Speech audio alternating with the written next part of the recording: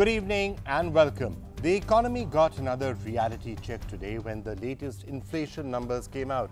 Wholesale prices were up 3.2% in August as compared to 1.8% in July.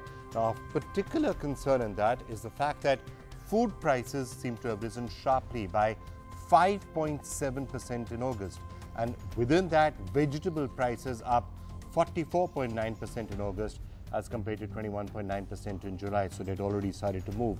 And onions, that perennial problem, up 88% in August, and they'd actually dropped a little bit in, in July. So something to worry about in the rise of uh, food prices. And that's to add to that thing which has been causing a lot of concern over the last few days, which is a rise in fuel prices, and especially petroleum products, uh, petrol and diesel. Fuel prices double, uh, going up in August to, by 9.9% versus 4.37% in July.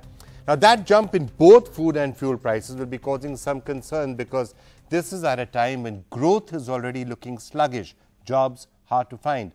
And the reason why this will cause some concern is because it could potentially prevent the Reserve Bank of India from cutting interest rates further. And that's something that the government has been asking for. That's something economists have been asking for, but it's not going to happen uh, if inflation is going on. Of course, some people are blaming the government itself for inflation, in particular pointing to high petrol prices and saying that's partly a result of the government and what it's doing with taxation. CPM chief, for example, Sitaram Yechury, tweeting this, he says, since 2014, the price of crude has fallen by 85%, but the price paid by the common Indian has increased. Why? He's also attached a placard saying, why should you be paying 79 rupees for that litre of petrol, which costs the government only 31 rupees? The answer, obviously, is taxation.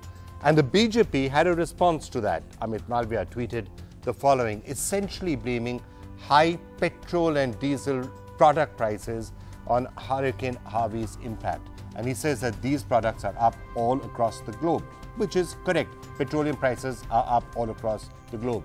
He also blames a recent spike in crude prices, which makes somewhat less sense because crude is still a fraction of what it was just three to four years ago.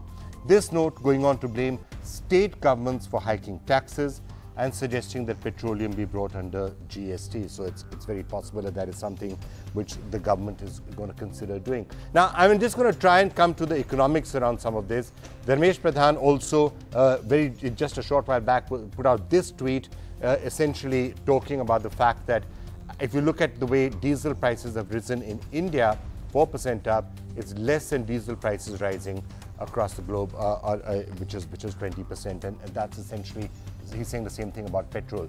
Now, I'm going to get to all of our experts in to talk about this because it is certainly to Dr. Jagdish Shettigar uh, is joining us, uh, economic professor at BIMTech. He's been, uh, he was the economic advisor to former Prime Minister Atal Bihari Vajpayee. Shekhar Gupta joining us, one of our top journalists, Pavan Khera with us as well. Sunil Alagh is joining us, uh, independent marketing consultant, top uh, economic thinker as well. Madan uh, Sabnavis joining us, chief economist at Care Ratings. I'm going to get in the bullet train at some point and what it says about priorities, but I just want to try and understand this fuel point. If you take a look, uh, Dr. Dr. At what is being said, Dharmesh Pradhan and what the BJP is saying, it is correct up to a point that yes, international petroleum product prices have spiked after Hurricane Harvey. That's because refineries in Houston have been held up. So the price of petrol has risen and the price of diesel has risen. But the price of crude itself has not actually moved up that much, 47 to 53, and it's still way lower than it was you know, three or four years ago. So if petrol and diesel prices in India are high, it's partly because the government is keeping a lot of it. It's not, it's not allowing that drop in, diesel, in crude prices to have gone out to the customer. Governments made windfall gains, basically. No, initial increase, especially from 2014, yeah. Uh, both accounts. One is the rise in the international crude price plus the depreciation of the rupee actually. That is, uh, Sitaram actually was wrong when he was pointing out why the prices have gone up so much. It was only bec because of uh, depreciation of the rupee. But of late, the rupee has been getting strengthened, especially during the last uh, few months. Now, this is something I mean uh, cannot be explained. Uh, but other part, are as you, far as are you concerned about about the rise of food prices, in inflation coming back, which might mean the RBI can't cut interest rates? Are you concerned about this? No, there again, I mean, we have to go into the detail. If the rise in the price of the food price uh, going up is a worrying point, but if this rise is because of the rise in the demand, then that also indicates that is there is economic activity is picking up. Because if you look at the data on the industrial production index yeah, as well as the CPI they are moving in the same direction. For instance in the July July when it picked up yeah. prices so at the same time IIP also picked up. So that is a good thing. Actually good if IIP continues to move yeah. up Pavan Khera uh, on the economics of this I'm going to come to to some of the policy behind it. On the economics of this the fact of the matter is the worst thing that could happen is that growth is down and inflation is going up because then you can't cut interest rates and then you're really in a mess. Dr. Shettigar is saying that it's possible that prices have started to move back up because growth is picking up again. Look at the excise figures. Under the Congress, what was the excise in, in, uh, that is on a, April 2014? Excise on petrol was 17 rupees 33 paisa. On diesel, it was 21 rupees 48 paisa. Today, what is the excise now? Sorry, it was 3 rupees 56 paisa under us and today it's 17 rupees 33 paisa on petrol. 129% in 2015-16 is the revenue earned only through excise on oil. 211% it's earned in this year. So okay, let me just get you. The, let me just get you to do with the global crude oil. That's something which the government the should. government is making. If they bring bring it under GST, okay, won't it have an impact? Okay, Shekhar Gupta, I'm going to come to the food point also because both food and fuel is going up his particular point, which what Sitaram Yechury and others are saying, is that somehow the government is, you know, crushing the middle class and citizens on the head. Flip side of that would be that, right, there was a very high fuel subsidy earlier. Petrol and diesel prices were kept unfairly low, lower than what they should be. The government was subsidizing it. Every time you went out and you filled up your Mercedes or any car for that matter, uh, the government was, was subsidizing that. Now that subsidy has been reduced or has gone. That's the flip side of the argument. That's the point that the BJP is making. Well, first of all, Sitaram Yechury and others, as you say, they will protest whatever the fuel, pri uh, fuel price unless the government is subsidizing it. Fuel price subsidies are the most obscene subsidies. Yeah. Because nobody who uses petrol is without a vehicle, so it's not really poor. I mean, there are, there are many strata in the middle class, but anybody who, uses a vehicle is not poor. There are lots of other poor in India who needs the help of the state. Second, Sitaram Yechury and others were also, compl also complaining when the previous government planned to or tried to raise prices to match up with international crude oil prices. The principle is energy prices should be consistent. Energy prices should not and the principle should, should not now oscillate up and down. The principle now is allow it to move. Freely. No, but but but yes, but the debate is, as Pavan says, excise. There has to be a carbon tax. You cannot sell cheap energy anymore. You have to put a minimum high price on energy. Otherwise, nobody will move to alternate sources. Logically, yeah, logically you should try and get everyone to move to electric uh, even faster. Is there any data that people are being disincentivized and moving towards alternative? Is there any data to substantially prove Shekhar's point? Yes, this year, this, no, this, no, no, no, no. The sale on. of cars, Shekhar, the sale of vehicles. Let's focus on that data. That's yeah. going up. So actually, where does it actually, Actually, what the NGT has done, which is banning diesel cars, you know, putting restrictions on petrol, that's that's that's I think essentially what seems to be NGT happening. orders are a bit of a joke, so let's not go there because those orders come and those orders disappear. But the fact is that petroleum products um, sales growth and import growth this year has been among the lowest in a very long time. Now, it could be because of economic slowdown, but it but it is low. Okay. And the fact but is more people will buy vehicles and a carbon tax is a very virtuous tax. Okay, Madan Sabnavis, I'm just trying to get you to understand the big picture right now on food prices starting to move back up. Fuel prices are at an all-time, uh, not at an all-time high, but certainly are, are, are, are, much higher than they've been just a short while back. And the, the, we just heard Dr. Shettigar saying it could be a sign that economic activity is picking up. Are you seeing any of that, or is this a result of other factors, Hurricane Harvey or whatever it is? See, in my opinion, I think whatever is happening on the inflation front is being caused more on the supply side rather than on account of increasing demand. Because we haven't really seen these kind of demand impulses coming either from households or from industry. Now, if you just look at the kind of WPI numbers which we had today, if we look at uh, the primary products, I think vegetables was a major concern. I mean, that's one of the reasons as to why it's gone up. We have seen fuel prices going up because international prices of crude oil has gone up, and the government, in its wisdom, has decided that they're not going to subsidize it and let let let the pass through take place to the final consumer. We've seen some kind of uptick in manufacturing prices, but I don't think it's anything perilous for us to really start panicking right now. I think because uh, a number of around 3.2, 3.5, 4%, I don't think it's something which is uh, way out of the ordinary. I think we normally do have a WPI inflation of around 4%, so I don't think it's any problem out there. But only concern which I would, which I have right now is if you look at the growing pattern of various crops, there definitely seems to be shortages in oil seeds and pulses, which means that we could just go back to the syndrome where pulses prices start increasing. That's something I think the government should be prepared to take uh, prompt corrective action by okay. reckoning the imports on time so that we don't have a situation where the price of tur dal and mung dal really go up. Okay. Uh, Sunil Alagh, any time when prices start to go up, especially when it's food and onion, of course, for whatever reason is a political nightmare, uh, we were celebrating a couple of months back that prices were down, but we were mourning the fact that growth was also down.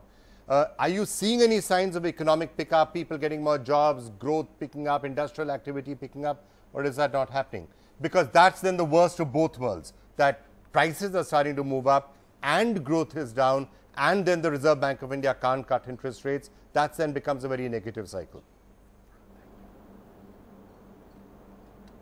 No, uh, Vikram, if I have to be honest, I don't see an immediate pickup in manufacturing either. I mean, there may be a marginal pickup, but as far as I'm concerned, starting October, normally demand starts picking up from consumers because of the festive season and November and December. From September onwards, the demand does pick up. So there is an increase in demand for consumer products. The FMCG industry is beginning to look up now. How much they're going to look up, we'll have to take a look. But look, normally vegetable prices go up the maximum during the period of the monsoons. And after that, they start declining. So if you look at the last two or three months, the vegetable prices every year, year on year, go up during this period. Now, okay. whether they've gone up a little more or a little less than the previous period has got to be evaluated. But okay. if they don't start dipping from October onwards, by the end of the month, then we are bound to have a crisis. Now, as far as petrol is concerned, my reading is that, look, Earlier, it was being subsidized, as Shekhar was saying, by the government through the government public sector. They yeah. have now been told, you please run your companies as efficient, profitable companies. And if you have to charge, you charge according to whatever the market can bear. If there is going to be a drop in consumption, I'm sure the prices are going to come down as well. Now, all I can say is that, look, there is a certain degree and a lack of communication on behalf of the government on what they are doing like they're doing good stuff. They want to collect the money because they need it for building infrastructure.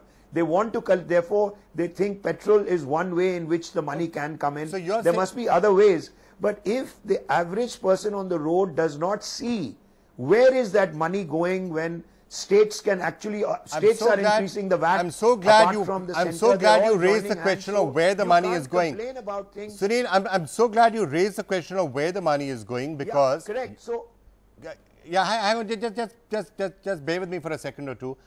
Just so you know, to take your point forward, if the yes. main justification for keeping taxes on fuel high and hence having you know all of these high prices, if essentially the justification for that is the fact that we don't want to have subsidies, then I guess the question will have to be brought up on the on the bullet train, and that, after all, is what has just you know been been launched today, and that that is going to raise its entire uh, you know own set of questions you know, because people are going to say that, yes, you have reduced the fuel subsidy from, you know, whatever it was in 2013 to 2017. Essentially, this means that the government has more money to spend on things that truly matter. So that really is raising this entire big debate that's been raging since the morning on whether the correct way to spend the money is on the bullet train. So Prime Minister Modi and the Japanese Prime Minister Shinzo Abe today laying the foundation stone for that ambitious Ahmedabad-Mumbai bullet train but that's going to cost more than 100,000 crores. To be fair, most of that money is going to be coming as a soft no. loan from Japan, but virtually Vikram, a grant. It's going to be repaid over 50 years. Vikram, well, I just let me just finish one more line. However, however hang on, Sunil, just give me a minute. Let me just give me a minute to finish this. But the BJP's own ally, the Shiv Sena, has had the following to say in Saamana about this. Essentially, the, the Shiv Sena says the project is loot, it's not in the interest of the common man, it's meant for the wealthy, wealthy and the business class, and you know, it's not really going to help anybody else. So, I guess the question that has to be asked is, and Sunil, let me throw that first back to you and then to everybody else. It's correct to say that yes, the government should not be subsidizing the rate, should not be, you know, you should not have too many fuel subsidies. But at the same time, today people are asking whether therefore it is, it is correct to spend so much money on a bullet train, which only a small section of people will be able to take advantage from, as opposed to spending that money elsewhere.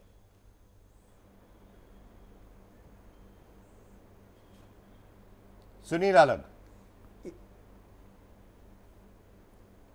So Vikram, can I just add one thing? Look, again, it's a lack of communication. The bullet train is being financed by Japan.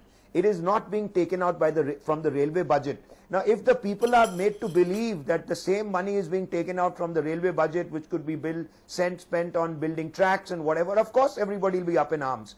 But they don't understand that they've got a 50-year 0.1% loan from Japan, which is specific only to the bullet train. It is not being taken out of the railway budget. Now, unless people explain this, I, I talk about com communication. Everybody thinks, oh my God, you know, but this is regardless of what is being spent, and people must understand that the railway minister is going to improve. He's not going to touch his budget for the bullet train. Okay. Now, you're not communicating that. If you're actually going to communicate that, look, I am collecting money because infrastructure has to come up, roads have to come up, if manufacturing is going to get a break, which is what industry wants, unemployment is going to go, I need the money. Now, okay. if so, you start talking, maybe they are wrong, maybe they are right, but okay. at Sunil, least let me get the we will have a debate where the government is able to communicate what are they going to do okay. with the money. So, so That's obviously, all. Otherwise, obviously you'll never build the metro. Why did you build the metro in the first place if you don't want the bullet train? Why did you build the sea link?